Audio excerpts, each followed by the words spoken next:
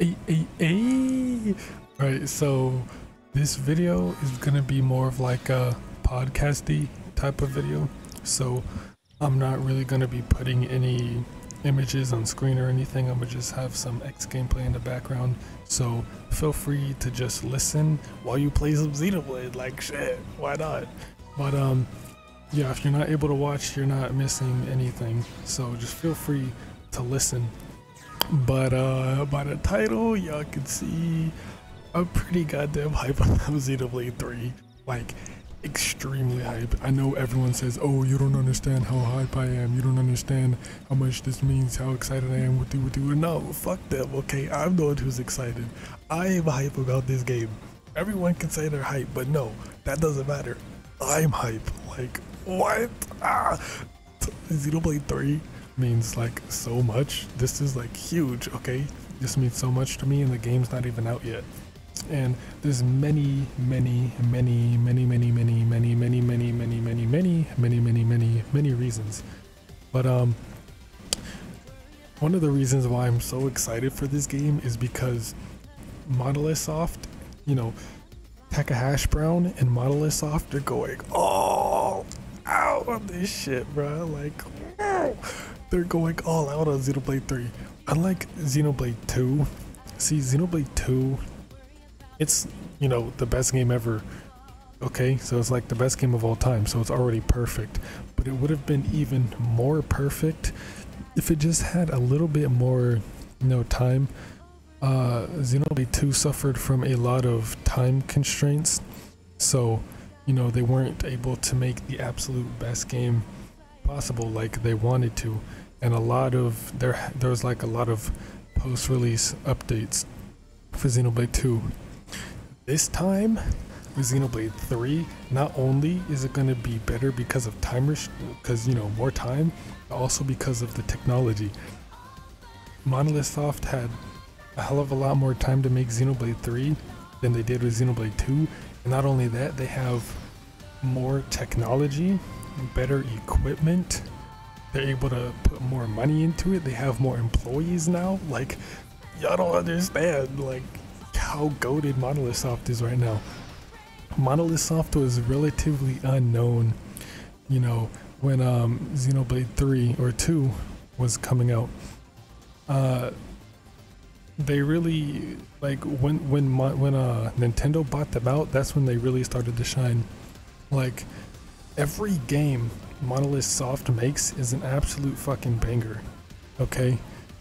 Xenoblade 1 was wasn't really didn't really do as well as like Xenoblade 2 because first Xenoblade 1 came out on the Wii in like 2010 at like the very end of its lifespan.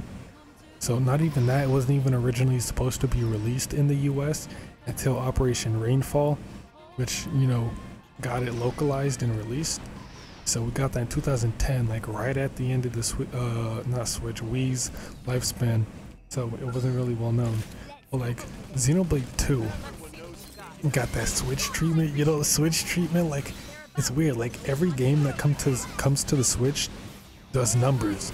Every game that comes to the Switch, whether it be an indie title, AAA, just sells a hell of a lot. So, like, since Xenoblade 2, Monolith has been doing pretty well. And yeah, they helped work on Breath of the Wild, Splatoon 2, Animal Crossing New Horizons. All of those are, you know, in the list of, you know, top selling Switch games. All of those games did absolutely great. And they're like all getting sequels now. Maybe not New Horizons, but you know what I mean. Breath of the Wild is getting a sequel. Okay, Splatoon 2 is getting a sequel that's coming out in literally September. Xenoblade 2 is getting a sequel. okay, like Monolith Soft is doing well now. So like Monolith is doing the best now than they've ever had. Xenoblade is at its, you know, biggest and most popular than ever has before. So this is like the perfect time to, you know, for Xenoblade to blow up. Like Xenoblade 3 is definitely going to be the best selling game in the entire And you know, it's going to be the best selling Xenoblade game. Mainly because Switch treatment, again, but also because the growing popularity of Xenoblade. Xenoblade is at its height right now. It's at its most popular and well known now than it has ever been before. So it's going to sell pretty well. Xenoblade 2 sold like 2.05 million copies as of like I think last year. I don't remember.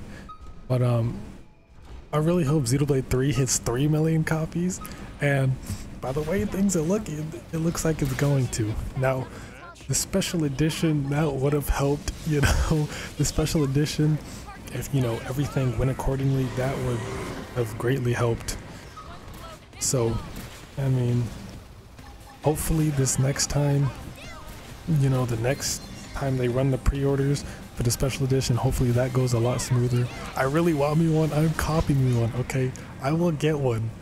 I oh, I want this shit so bad. But um, yeah, Xenoblade is like at its peak right now. Ever since Monolith has been bought out by Nintendo, Monolith has become the most important subsidiary to Nintendo.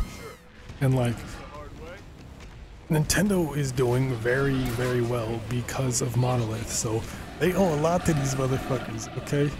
And another reason is because, and actually before we get to that, I think Xenoblade 3 is like going to be the definitive like Xeno game because Takahashi finally is able to like fulfill his vision for not just Xenoblade but all of Xeno. He's finally being able to tell the story that he wanted to tell for like over 20 years now, the full story.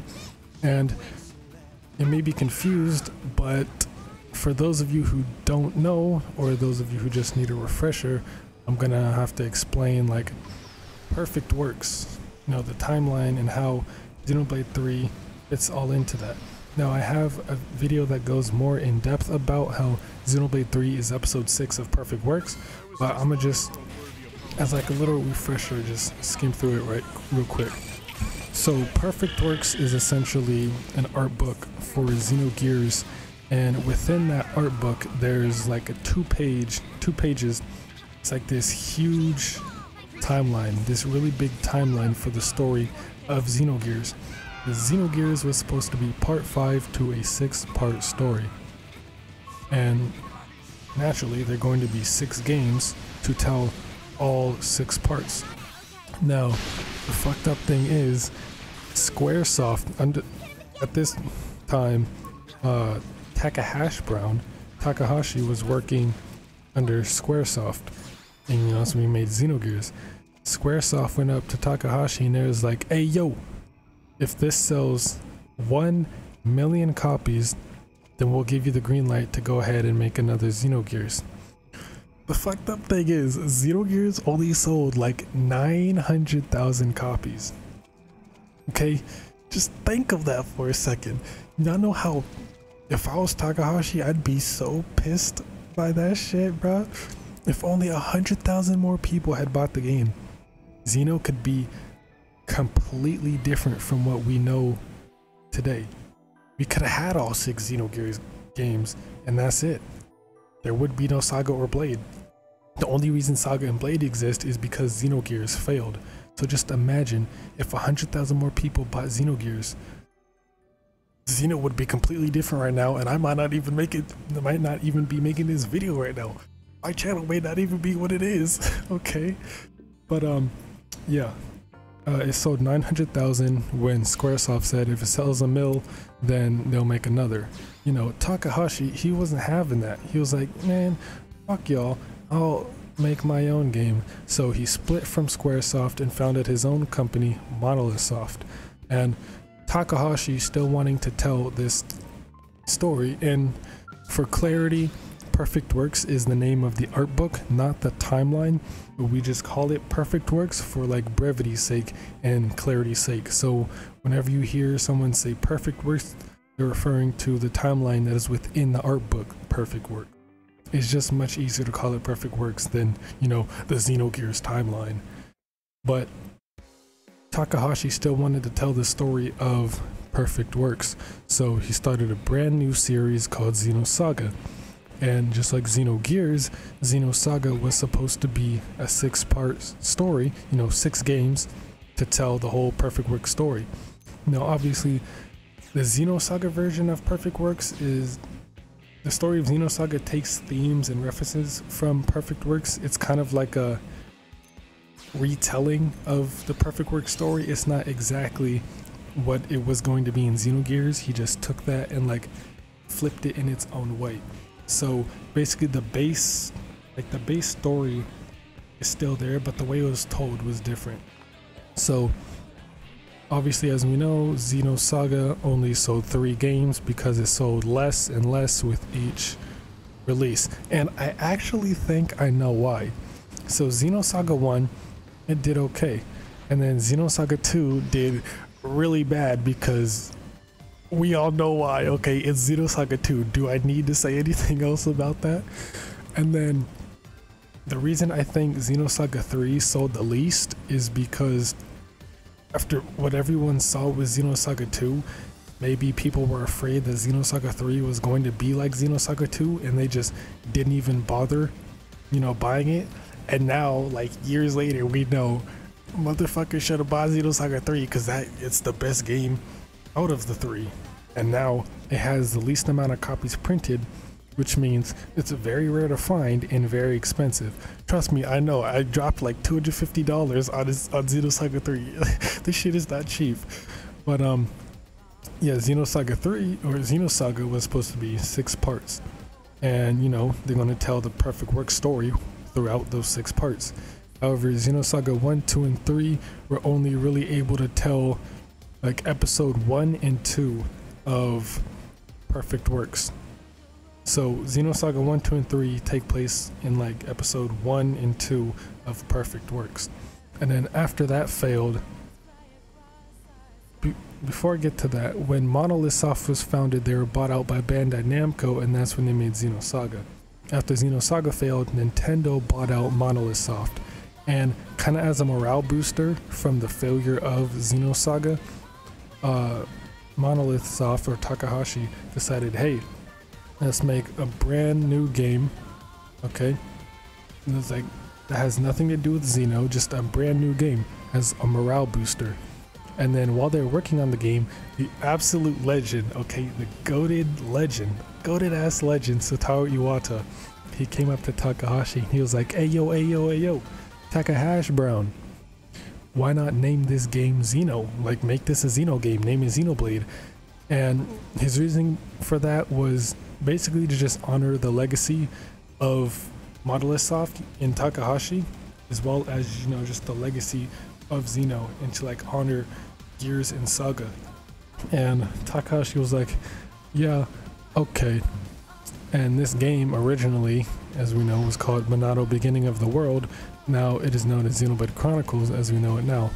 And Monado Beginning of the World had to be reworked a little in order to fit into, you know, Xeno had to be retrofitted or refitted into the form of a Xeno game. So Takahashi not wanting this Xeno game to fail, and he still wanted to tell his full six-part story of Perfect Works. He decided to fit the entire Perfect Works story minus episode 6 into Xenoblade 1. Okay, and Xenoblade 1 did relatively well. And then they said, okay, Xenoblade 1 did alright, let's, you know, make another one. And then they made Xenoblade X. And Xenoblade X, Xenoblade X is always the outlier. It's so weird. Um, I don't really know how it fits into Perfect Works. I think, I think okay, episode one is about like an interstellar war, interplanetary war, and in the opening of Xenosaga or Xenoblade X, we see the war between the aliens and I think the Samaarians. Or that might have been the gang. Yeah, I think it's the aliens and the Samaarians. No, not the aliens, the ghosts. The ghosts and the Samaarians. And yeah, so I think Xenoblade X. I'm not really sure where it fits into the timeline. I just know episode one is that cutscene of, you know, the interplanetary war above Earth before it was exploded. And then Life on a New Planet, that's episode two. So that's when they land on Mira.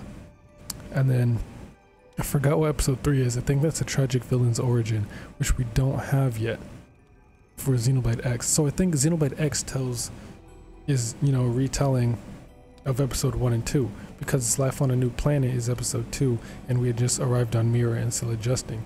So he I don't really know what his thought process was with like Perfect Works and Xenoblade X because we you only have episode one and two of Xenoblade X. But then again, Xenoblade X is going to get a sequel.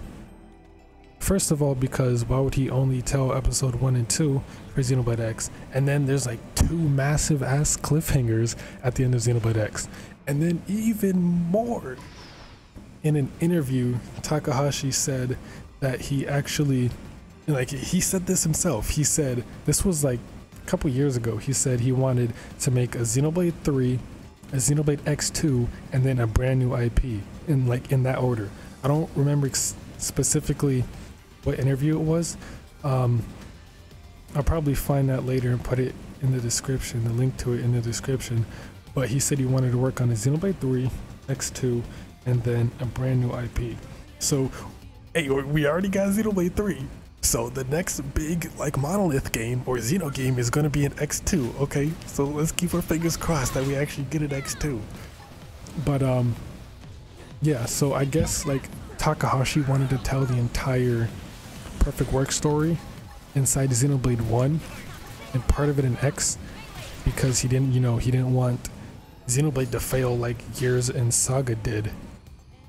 So this was kind of like a safeguard for that. And then he saw Xenoblade 1 and X did pretty well. X, I think, sold the worst out of 1, X, and 2 because, you know, it was on the Wii U. So it was bound to die anyway. I loved the Wii U, okay? And I'm pretty sure I'm like the only one who did. No one else likes the Wii U. Everyone hates it. So, like, X was doomed to fail from the beginning. But then, you know, Nintendo Switch came out, brand new system, a lot more powerful than the Wii U, and you know, it's doing pretty damn well. So, you know, Monolith was like, hey, let's make Xenoblade 2 a brand new Xenoblade game for this Switch. And now we all know Xenoblade 2 is the best selling in the whole series, thanks to the Switch treatment. And again, he told the entirety of episode 1, 2, 3, 4, and 5 all into Xenoblade 2. Again, I'm guessing as like a safeguard in case Xenoblade failed, he was able to tell the full story. But if think about it, that's not the full story. Episode 6 is still missing. In Perfect Works in the book, uh, there's like a description of each episode.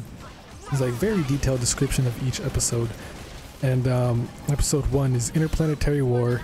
Episode 2 is Life on a New Planet. Episode 3 is I don't remember. I think that's a tragic villain's origin. Episode five, four is I don't remember what episode four or five is, but episode five is when Xenogears took place. But like, yeah, like I said, there's I have a video. I'm gonna have it in the end card and maybe in the I card, and I'll have it in the description of how Xenoblade 3 is episode 6, and I go into detail of how Xenoblade 1 and 2 and even X like all fit into perfect works and like which parts of the story of Xenoblade 1 and 2 fit into which episode in perfect works. So it all lines up. And so basically, you know, we still have yet to have uh, episode 3. There's no episode, or episode 6. There's no episode 6 in any of the Xeno games.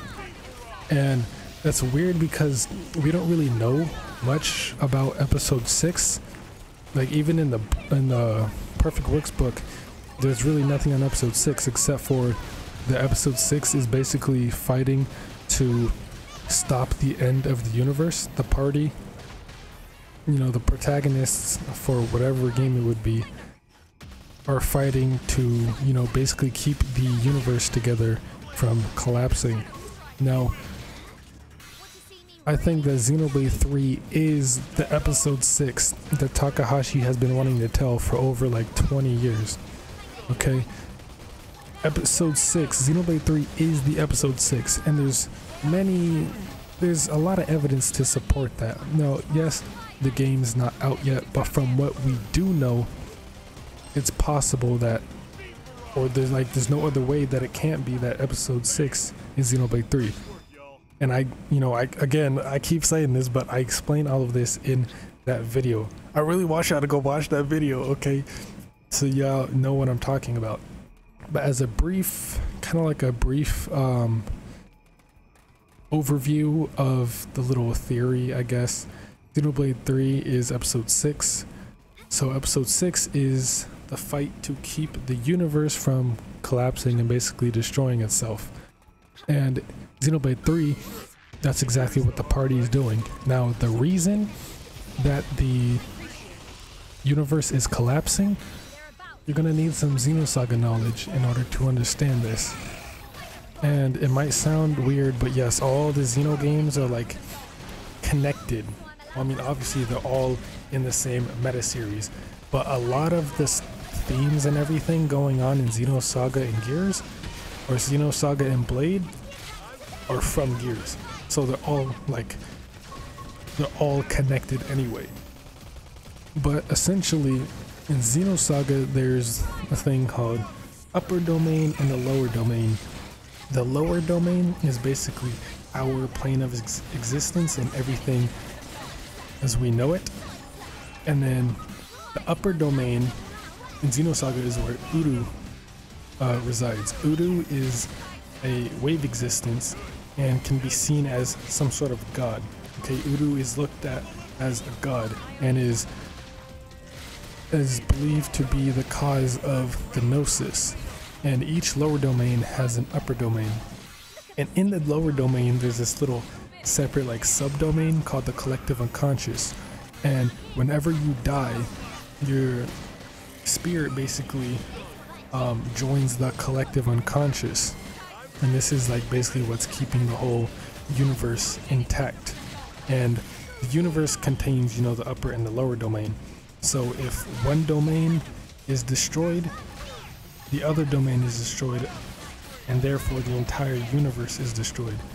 But if someone's consciousness or spirit, soul, whatever you want to call it, if they reject, you know, unifying into the collective unconscious, then that's what creates a gnosis. So every time a spirit or a soul rejects unifying, they become a gnosis.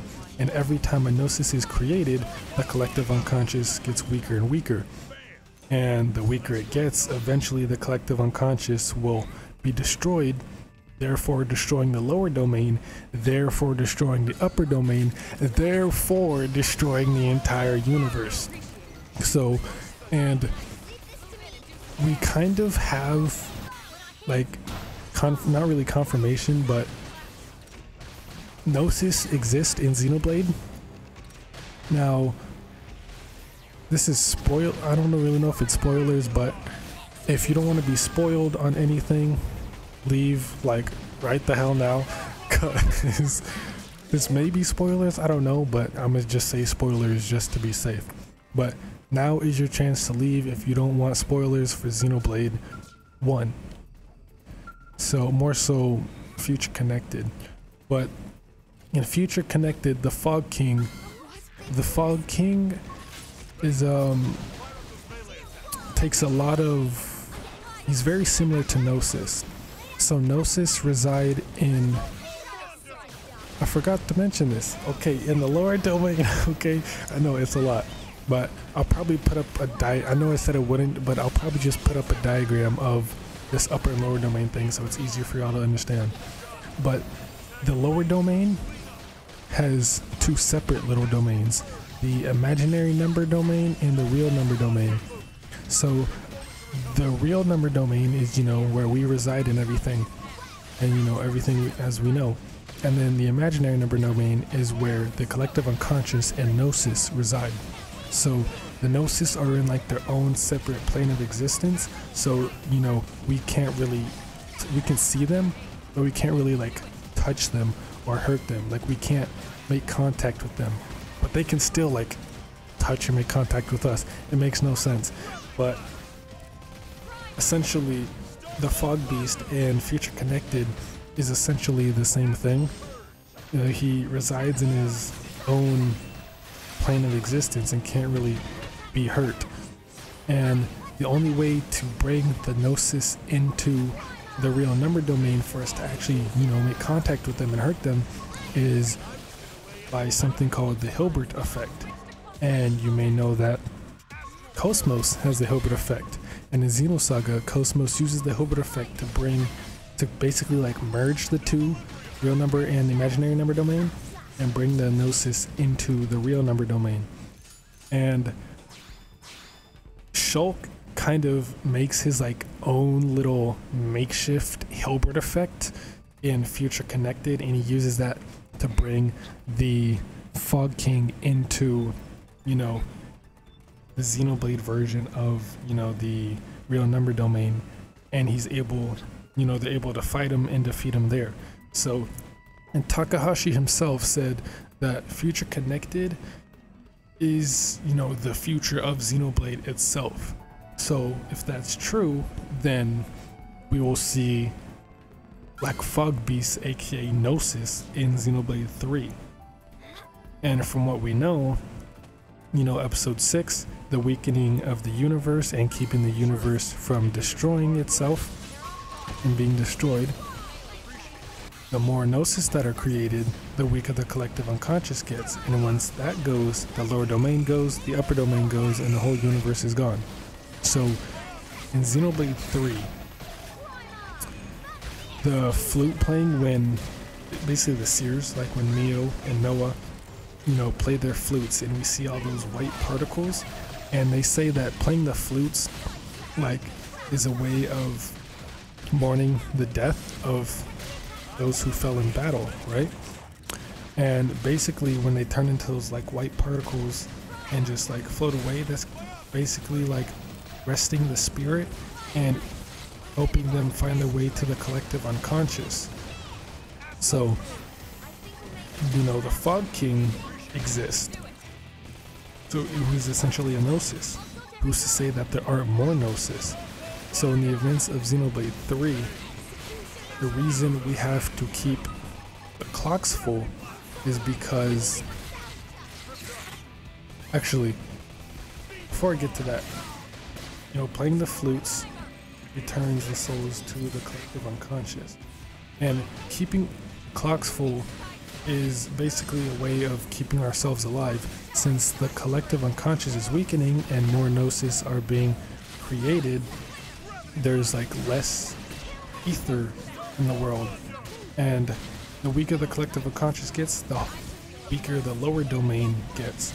So we kind of have to keep the clocks full to keep ourselves alive because it's getting harder to live. And once our clocks run out you know we die. And then either go to the collective unconscious and reject it or unify with it. So the party and basically I'm sure all of Aionios near like the end of the game will all they're basically all fighting to keep the um, collective unconscious together. The seers are trying their hardest to help all of these souls unify with the collective unconscious and somehow figure out a way to keep it together and, you know, find some way to stop souls from, um, you know, stop the souls. What, what the hell is the word I'm looking for? Stop the souls from rejecting. Stop them from rejecting the collective unconscious. Now, I could go deeper into it. I already kind of explained the whole thing, but again, go watch that video. It'll be there's it'll be in the end card and in the description. Go watch that. I explain it so much better in that video. I kind of just like went off of memory from but uh, it's more organized over there. Or maybe not. I don't know. I made that video like a month or two ago. But if you couldn't tell, I get like really fucking passionate about Xenoblade. Like once I start thinking, I just go on and on and on. Okay, like I could sit here and talk about Xenoblade for hours and hours and hours, bruh, and never get bored. Like, oh, oh my god, and Xenoblade 3 is like a combination of 1 and 2. So they're taking everything I love from Xenoblade 1 and 2 and putting them all into one game. Like, as much as I shit on Xenoblade 1 and say how much better Xenoblade 2 is, because, you know, Xenoblade 2 is the better game, but you didn't hear that from me. All, as much shit as I give Xenoblade 1, I actually enjoy it a lot. I love Xenoblade 1 because obviously it's a Xenoblade game, so it's a given. But you know, I just like Xenoblade 2 a bit more, okay? But I love Xenoblade 1 a lot. So don't get it twisted. I love Xenoblade 1, I just like 2 more because I started with 2, so and I've put more time into 2, so I have a deeper connection with 2. I also just like the characters and story of 2 better.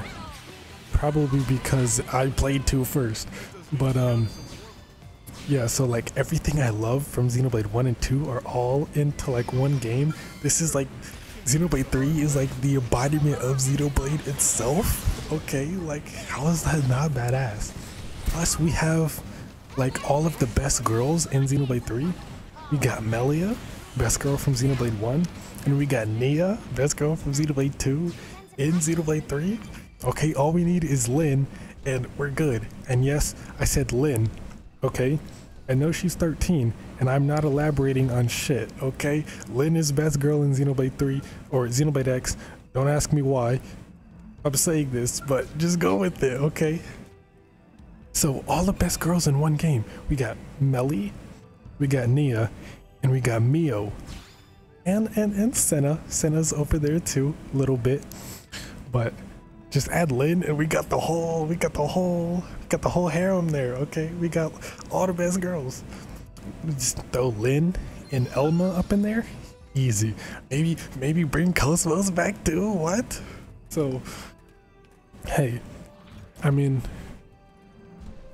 hopefully Pyra and Mithra are in Xenoblade 3 I, I'd love I would really love to see what they look like in Xenoblade 3 now, I know everyone's saying how they want uh, to come back. Like, oh, they want Pyra and Mithra in Xenoblade 3. But I really don't see a reason why they wouldn't return. I feel like if Z if uh, Pyra and Mithra were in Xenoblade 3, um, they'd be revealed as like some huge like plot twist or a huge story beat. There'd be like a very cool and clever way to like reveal that oh Pyra and Mithra are in, you know, they're in Xenoblade 3. So obviously they're not gonna like um, you drop that information in a tweet or anything. I don't know. At, at the rate they're going, Monolith is going to release the whole game before June's even over. But I, I'm pretty. I'm, think Pyra and Mithra are going to be back in Xenoblade 3. I really hope Alvis is there too. Okay, when we go to Sword March at like the turning point in the game at the Mechonis Sword, when we make it up to the top of the Mechonis Sword, Alvis is just gonna be sitting up there chilling, sipping on his Zohar juice. okay, but um, damn, I forgot what I was gonna say. See, this is what I'm talking about. Like, I get so hyped about Xenoblade 3, I just go on and on and on. Not even Xenoblade 3, but just Xenoblade in general. I just get to thinking and I just go on and on and on. And then I get an idea off of what I was saying and I just build off of that. And then I get another one and just build off of that. And it's oh it's like I'm, I'm, I'm really excited for Xenoblade 3 and the more excited I get the more I want uh, July 29th to come around. The more I want July 29th to come around the longer it takes. The longer it takes the more impatient I get. The more impatient I get the more tension builds. The more tension builds the more anticipation builds, the more anticipation builds, the hyper I get, the hyper I get. Ah, it's like a whole fucking cycle, okay? It's a whole cycle. And I hate it. Like, it's right there. We have we literally have like a month and a half left. We literally have like a month and three weeks left before Xenoblade 3 is like literally right fucking here. It's still like insane to think that Xenoblade 3 is even a real thing. Like, this it's, it's it's actually real. Like, what? How? No, I don't want to believe it, but I want to believe it. Okay, like, ah. Well, hopefully, I don't know. This game is going to do absolutely incredible. Now, like, I already know this game is going to blow my mind because I don't ever go into games with like any expectations. I don't ever like play games with any expectations because a lot of people like to go into stuff with high expectations, very high expectations that are hard to meet, and then they get disappointed when those expectations aren't met, when those expectations are unreasonable in the first place. So, like, not even that I don't have any expectations to avoid that. I just I'm just like a very nonchalant and carefree person. I just don't really give a shit about anything, okay? So I'm not going into expect I'm not going into anything with expectations of anything. I don't expect shit. So my mind is always blown. I guess that's why it's so easy for me to like play new games and like fall in love with new games because whenever I play a new game, I'll like love it instantly. And like, I don't think there's ever been a game that I played where I was like, yeah, no, I don't like this. Like every game I've played, I've enjoyed. From what I remember, every game I've played, I've enjoyed because I don't have any expectations. So I'm always being surprised and engaged and drawn in and invested. So I know Xenoblade 3 is going to be absolutely wild. It's gonna be a wild ride, this game, Xenoblade 3, okay? I know that meme's dead, but I had to bring it back. Um, shit, what was I even saying? Yeah, no, Xenoblade 3 is is is is something else, okay? Like Xenoblade 2 was the first game to like ever hook me with its story. Most games I played I you know I liked because of the gameplay itself, but I've never really like been one to like be really big and invested into the story and like games because of the characters or the story it tells. I've always just liked the gameplay and that really was that. But I don't know what it was, but for some reason Xenoblade 2 was different and it really like hooked me by its story. And by the end of the game, I almost wanted to cry. I've never cried at a game, like I'm not really emotional like games and movies and stuff like that. Not to sound like weird or desensitized, but I just not easy for me to cry at games and stuff like that. But Xenoblade 2, that shit hit differently, okay? Like I wanted to cry, but I just couldn't, okay? It's like Xenoblade 2 almost made me cry. And no game has ever done that. And I doubt will ever do that again except for you know like maybe Xenoblade 3 or Xenosaga 3 when I get there. But I don't know what it is. But like Xenoblade is just really different. Xenoblade's story just really touched me, and it was like, you know, like what? No game franchise or game by itself, for that matter, has ever made me feel the way Xenoblade made me feel. So it's like, damn, Takahashi, you motherfucker. okay. But but when Xenoblade 3 comes out, I would just be sitting there just staring at the title screen, just still in disbelief at how real it's going to be. Okay. I'm gonna be sitting there at like 11 p.m. All right, 11 p.m. July 28th. I'm gonna just be sitting there staring at my Switch home screen, waiting for it to hit midnight. So you know, Xenoblade 3 officially releases, I could immediately open it and just get straight into it. And I would just be ah, just in shock the entire fucking time. Like, you don't understand how oh my god how much this game means to me eventually i'm gonna make a video on like why xenoblade especially xenoblade 2 more specifically means so much to me and how it's changed my life because Xenoblade really has changed my life and my like worldview, my perspective on the world, and like relationships with people in general. So Xenoblade is fucking insane. Takahashi is one is one madman, okay? He is a wild guy. Okay. Yoko Taro had ass out here. but um you know, Xenoblade 3 is going to be the best game ever. Like Xenoblade 2 is my favorite game of all time right now. But Xenoblade 3 is easily going to trump that. Like as soon as it releases midnight, Xenoblade 3 is officially going to be my new favorite game. I haven't played it, we haven't seen shit about it yet, but I already know that Xenoblade 3 is going to fuck me up. Okay, Xenoblade 3. Oh, bro, Xenoblade 3. This game. Not only that, but it like mixes the combat of 1 and 2. And is like the greatest thing ever. Okay, so like Xenoblade 3 is just a mix of everything I love in Xenoblade. Now, if they threw some Xenoblade X stuff up in there, you know, give us some skills or whatever, give us some like Mira exploration type shit, then absolute masterpiece. Xenoblade 3 is gonna be a masterpiece anyway, but like, the sheer anticipation and like hype and disbelief I have for Xenoblade 3 is not even funny, bro. Like, oh, I'm going to cry when this game comes out. Like, oh my god. Now it's like a better time to be a Xenoblade fan than ever before. Please, please, please go out and buy Xenoblade and support this game. Because I'm trying to get more Xenoblade games. Like, what? And even off Xenoblade than some other Xeno IP.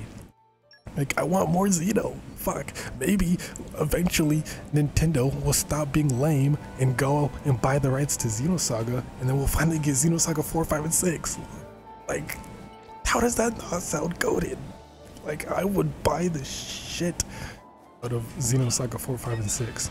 And then we can have like this giant, um, so, you know, this is, you know, like, trilogy is three, quadrilogy is four five would be like pentilogy, and then six would be like sextilogy. I don't know. Wait, it would be like a sextilogy. That sounds hella weird, but I would buy the shit out of the Xenosaga sextilogy, and even a Xenogears sextilogy. Like, okay, but no, Xenosaga, fuck, Xenoblade 3. I'm, I'm like I'm playing through Xenosaga again. I continued Xenosaga, and y'all can see I've been like uploading a lot of episodes of that recently. So like my mind is just stuck on Xenosaga. But Xenoblade 3 is going to be like bro, July 29th, 2022 is going to go down as the absolute greatest day in all of history. The greatest day the greatest day that has ever happened and the greatest day that will ever happen. Nothing will ever beat it. July 29th, 2022. Mark that down as like the best day ever in all of human history because. I'm getting so hype right now.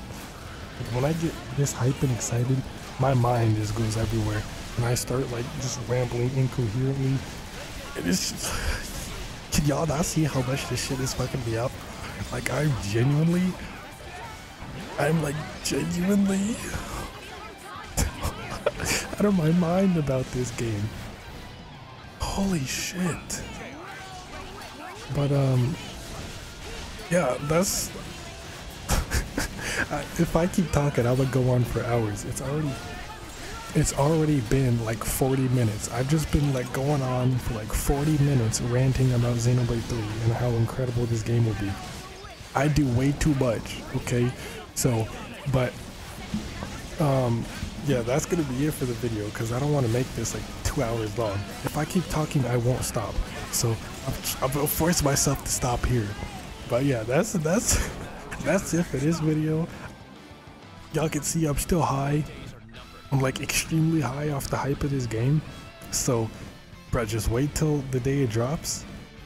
Like I'm going to have an aneurysm so catch me on the day it drops. I'm gonna have an aneurysm. Just wait till that day when you know when you get that, you know, that notification, y'all got notifications on for me? If you don't, turn them bitches on because just wait till like 1 a.m. July 29th when you see, you know, part one to the Xenoblade 3 playthrough. I'm going to be out of my fucking mind. Okay. So, look, here I am going on talking again. I'm gonna shut the hell up. But yeah, that's it for this video. Go check out that video about Xenoblade 3 is the episode six. Go watch that because it's actually quite important. So that's really that's really it. So as always, thanks for fucking watching. Be safe. Be well. play some goddamn. Xenoblade!